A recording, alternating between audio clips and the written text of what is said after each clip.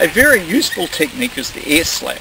The ear slap, what we do is we make a cupped hand and we'll slap the person. You cannot practice this one on each other because it will so, so the hand slap, what we're doing is we're cupping the hand and when we hit the ear, if I hit the ear, it, the hand collapses and pushes pressurized air into the ear canal. This will possibly burst the eardrum, it will cause disruption of the inner ear and it will make the person nauseous and unable to stand up for maybe half an hour to an hour afterwards. So this is a very powerful technique. So what we do is we put out one hand, we cup the other hand, and we come up, slap. So it can be a short slap, or a much longer slap. Don't forget you've got two hands.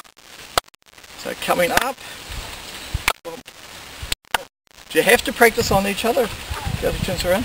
Practice either on shoulder, free, or much, or on a bag or some other surface. So let's do it again. So hand comes out, cupping the hand, coming up, bang.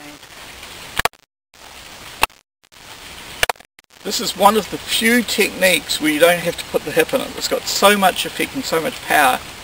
You don't. You can just use your arm, so, or you can use both hands. Thank you.